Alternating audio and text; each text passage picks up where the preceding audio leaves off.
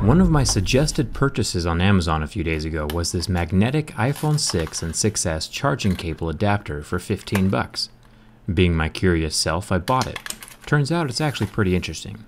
You plug one end into your phone and the other end into your normal charging cable. Then it connects via magnets just like you would with your MacBook or Apple laptop. Definitely a little gimmicky, but the magnet inside is actually surprisingly strong. It can even hold the weight of the iPhone. Technically, you could also assume that since you're not putting any wear and tear on your actual internal charging port by plugging and unplugging your lightning cable every night, the phone component should last longer. But you'll also have to bring the adapter with you if you want to charge on the go, or pull it out and remove it. I checked the charge times with the adapter installed. Started off at 13%, and when I came back an hour later, it was up to 46%. So it might be slightly slower than usual, but still not a deal breaker as far as iPhones go.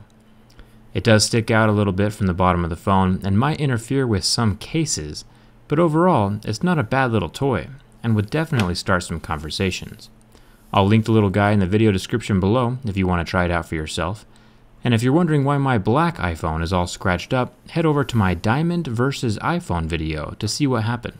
Thanks a ton for watching. Hope to see you around.